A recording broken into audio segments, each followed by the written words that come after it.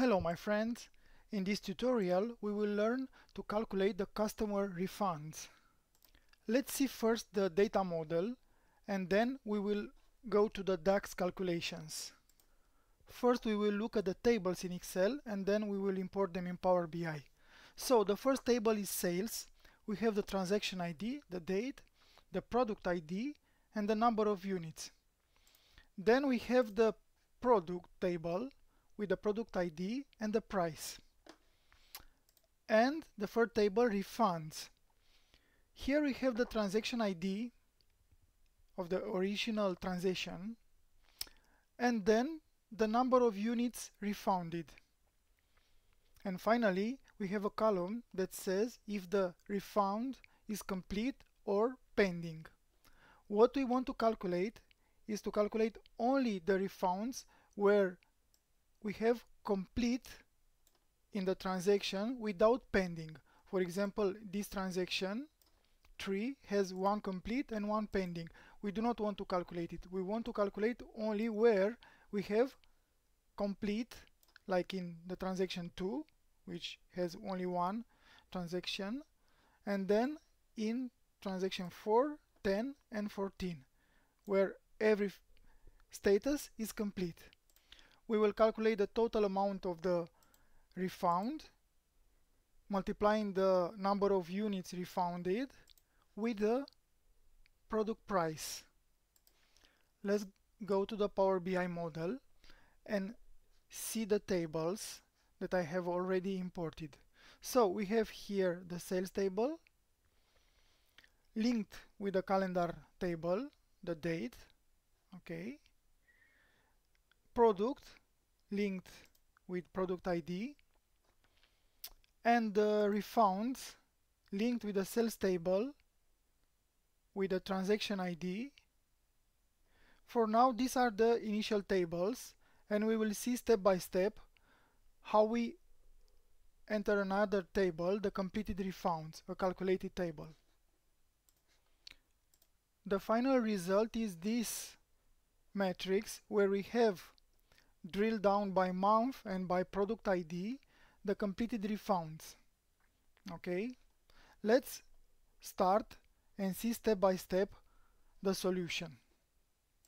The first step is to create a new table, a calculated table, where we have from the refunds table the distinct transaction ID because you saw in the refunds table that transactions appear can appear multiple times okay? So here we want only the unique count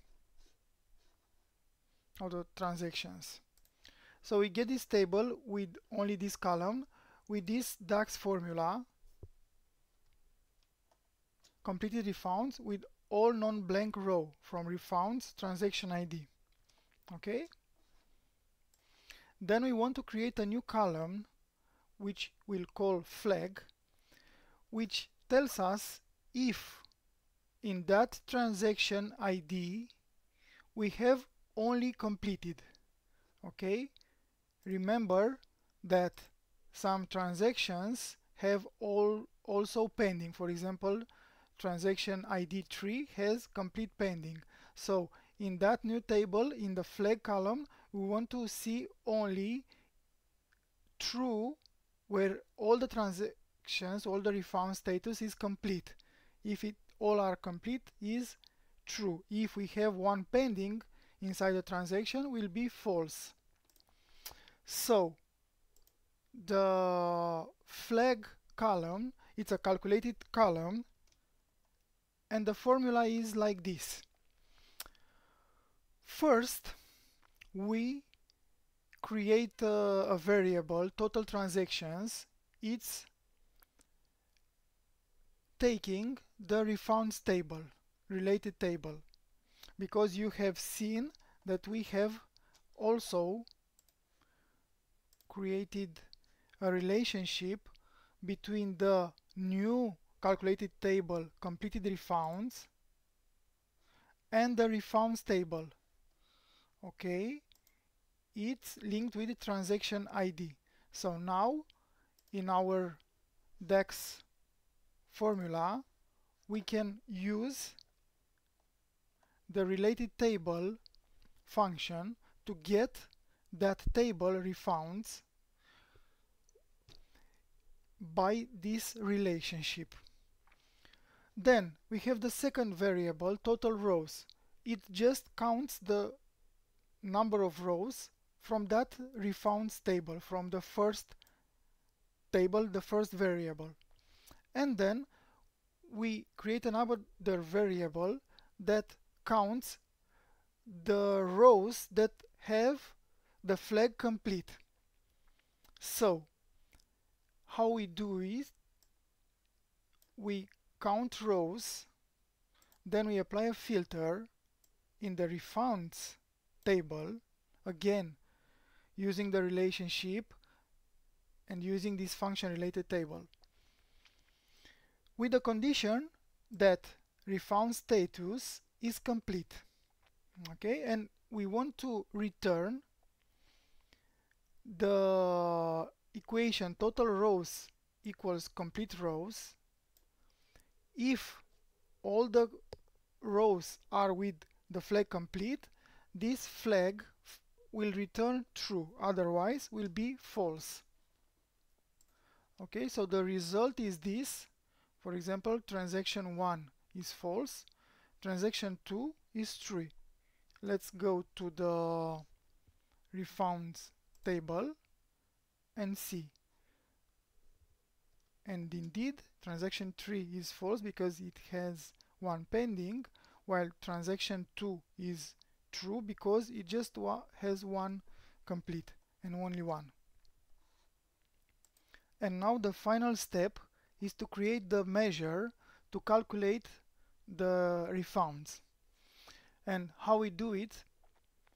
Now it's simple. We use calculate SUMX on the refunds table we multiply the number of units refounded with the product price using the related function and with the condition that the flag is true.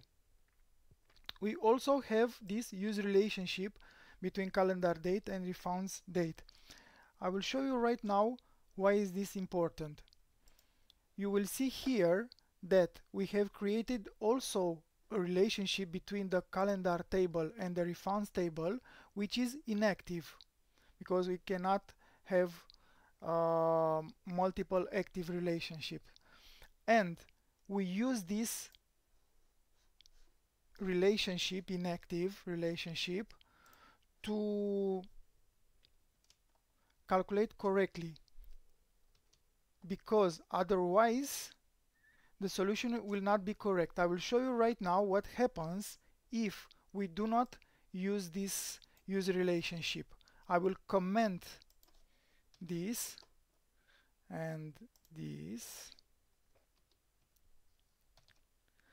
and now if I check it we see that the month changed because now the month is the month from the initial sales table is not the month of the refund because we do not use the relationship so now the date are no longer correct okay?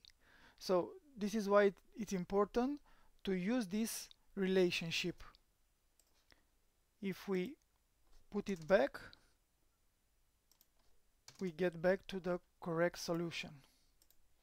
The month from this table is the month from the calendar table. Okay, it's not from the sales date or from refunds date.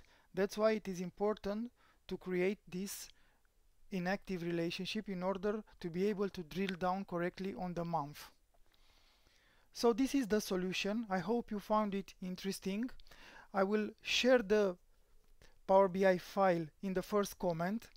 If you liked it, please like and subscribe. Thank you.